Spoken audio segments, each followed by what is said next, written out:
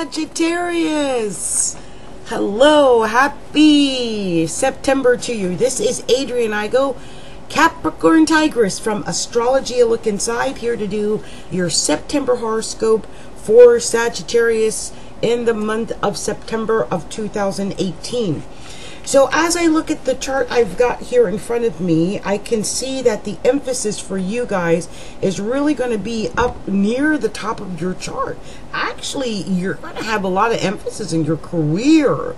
Um, in the beginning of the month, the sun and Mercury are going to be in your 10th house of career, your reputation, your image, you know, what people think about when they think about you, you know, um, your boss i can see you getting along really well with your like your superiors and your the authorities that are, are above you your parents i could see that going well uh, well your father figure but i could see that um, your career should be really great in the beginning of September.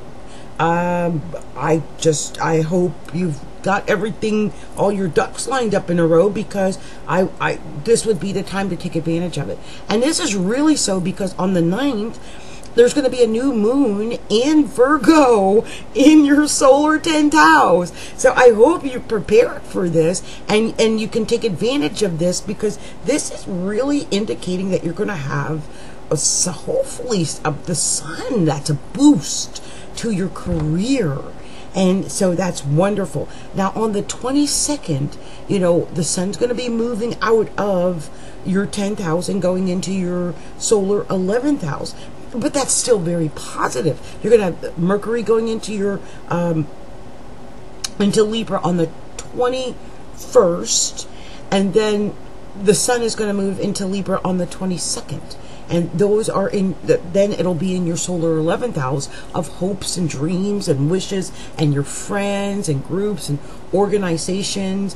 And, you know, that's actually a very good place. I, I love when there's emphasis in the 11th house but more importantly it's because it's in libra and the 11th house is an aquarius house so it's already in a very good positive mode but that libra sextiles uh, Sagittarius. And so that's positive. The sun is going to sextile you um, by the, around the 22nd or after. So, you know, look forward to that. But in the beginning of the month, the emphasis is on the career, it's on the 10th house, and, you know, all the things that represent the 10th house. And what's amazing is that the other area of, you know, activity for the month of September is happening in Capricorn, down in your solar second house. And the second house rules your house of money. It's your money. It's the things you possess. It's what you have to give to others. What you you have. You know, I always think of the second house as you know, I don't know, people sitting down and breaking bread together at dinner or something. Like it's one of those things where you you get to it's your stuff. It's where you amass your toys. And so, you know, Pluto's there, so there's power there, but Saturn is there. And I'll just say this about Saturn. You know, you guys just came through a situation where Saturn was on Sagittarius for a I, I'm sure it felt like an unbelievable amount of time. Okay, uh, it's two years, but it probably felt like forever, right? So finally, uh, you know, it gets out of Sagittarius, and um, it Saturn has been retrograding backwards towards Sagittarius all summer long. Now, thank goodness it's going to go direct. Thank goodness, I believe on the 6th let me just check and make sure my date. Yep. Saturn stations direct on the 6th of September. And that is a very good thing because if you've had any holdups with your money and your finances, um, it could have been because Saturn has been retrograding in your second house of money. And Pluto's there, and that's been retrograding. And no one wants that powerhouse retrograding in anything that has to do with money. So hopefully, when these two planets go direct, you're going to start feeling a little bit of boost there. And I think between, you know, that forward motion in the second house and that emphasis of the sun and the mercury and that beautiful new moon that happens on the 9th that hopefully you'll have an increase of, of money in your career. Now of course virgo is squares um, sagittarius. And so even though it's a square i think when we're talking about things uh, like beneficial planets like the sun and Mercury and that new moon, hopefully, we're talking about m- uh, more beneficial things that aren't going to necessarily be negative for you, Sagittarius. And don't forget that squares often signify activity. So, you know, it could be that extra boost that you need to, to get your butt up and get going and working toward whatever that career goal was in the first place. So I, I'm going to look at it as a very positive experience. And I would still say that after the 9th of September, it would be a great time to pursue whatever career goals that you want to set forth. Now, there is between you know that new moon on the 9th and the full moon which happens on the 24th i would say do all that you can. Get all that you can in for your career during that time. Because the full moon happens on the 24th and then that means everything's going to be waning from then and it's all going to be you know kind of constricting and restricting and not really uh, growing like it would be under a new moon to a full moon. So be aware of that. And that full moon is happening in Aries, and that's going to be happening in your solar fifth house on the 24th of September.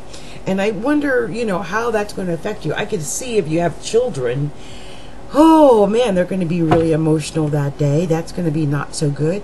Um, but it, it could also mean something. I mean, it's a culmination day. If it were me, I would go out gambling that day. I don't know. And just take advantage of that full moon at last moment before it actually starts to go down on the other side and starts to wane and the goodness of the aspect is no longer there. Uh, you are going to have Uranus in Taurus, um, and that's your solar sixth house. I wonder how that's going to affect your work life. Like I said, there's going to be emphasis in your career. So I could see your, you know, I could see there being some something different, something unique happening in your career. Maybe something different happening with your health. Hope your health is okay. Take care of yourself. And don't eat too many sweets. And try to avoid too many starches because Uranus is in your sixth house right now.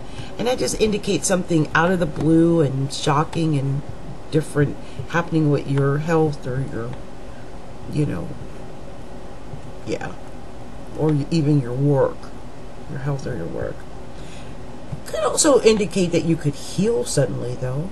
That's amazing because that's a trine to the new moon and also some trines to Saturn and Pluto. So yeah, I can see a, a, miraculous healing happening. So, you know, you've got Neptune down in the fourth house, and I didn't really discuss that much because that's really opposing a lot of that uh, Virgo emphasis that you're going to have up in the 10th house. And when I see Pisces down in the fourth house, I think, okay, this person has all that emphasis going on at the top of their chart. Let's hope they don't just sit home and, you know, just veg out and watch Netflix and Hulu and you know drink tequila and eat too much. Don't do that. Take advantage of Virgo up in your 10th house. Get out and take advantage of, you know, your career and your image and just do it up a little bit this month. Now, um, Mars is going to be going from Capricorn into Aquarius, and you know it's it's been teetering back and forth, and finally, it it you know it's going to go direct, and Mars finally goes, you know, direct in Capricorn. Uh, it went direct on the um, 27th of August, but it finally gets into Aquarius on the 10th of September. So, yeah.